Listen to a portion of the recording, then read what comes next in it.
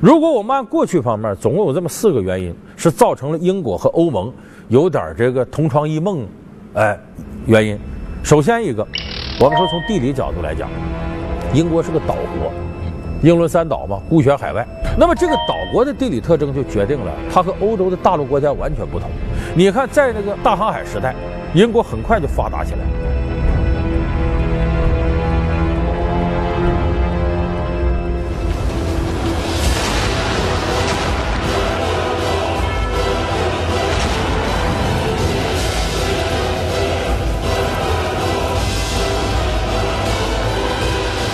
为什么呢？第一个，它是岛国，它不用担心邻国呀入侵它，它有天然屏障英吉利海峡。我们也知道，没有英吉利海峡，可能希特勒早就把英国拿下了。就他不用担心邻国借助陆地来入侵的。同时呢，他又跟其他国家没有陆地接触，那好，那他也没有那野心，我通过陆地去占你国家。所以既不担心你来攻我，我也没有那个想法一定要攻你。所以，英国跟欧洲大陆呢这种孤悬海外的关系特别明显，这使它在航海时代一下子优势强大了。它是以大海为中心的，所以这是岛国意识。就我和你不一样，我跟你欧洲大陆是两回事。我有我的目标，你看你的，我看我的，这是地理决定的。第二个，历史决定的。在历史上，英国呢心无旁骛的在大航海时代四处扩展自己势力，很快成了世界上最大的殖民帝国，号称日不落帝国。那么英国就觉得呢，我这是世界级国家，五湖四海到处都有我的领土。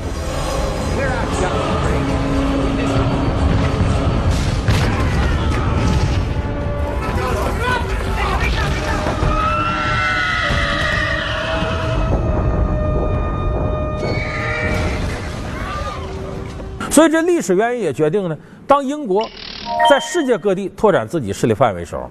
他并没有那野心，一定要在欧洲大陆怎么地。那么，只要你欧洲大陆不做出对我利益有损的事就可以。所以，英国呢，对欧洲大陆奉行的叫均衡外交，就你们我谁也不得罪，你们之间有啥事我也不掺和。这就跟过去英法百年战争时期那是完全不同的。所以，英国整体奉行的政策呢，叫光荣孤立，就是我跟你欧洲大陆我是孤立出来的，我认为这很光荣，这是我的骄傲，这是我英国绅士的精神。所以这是它历史原因，历史和地理双重原因决定了英国我和你们不一样。再另外一点，就我们前面说的和美国的关系，这个和美国的关系，英国和美国走得太近，在出兵阿富汗和伊拉克立场上，英国坚决地站在美国一边，所以英美关系在最近的二十几年急速升温。因为当欧盟和美国在各个方面政见不一致的时候，往往英国作为欧盟成员国，它站在美国的立场上，所以和美国的关系也决定了。就是英国和欧盟之间的一种关系，若即若离。因为从历史、情感各方面来讲，英国和美国更近，这是一个不争的事实。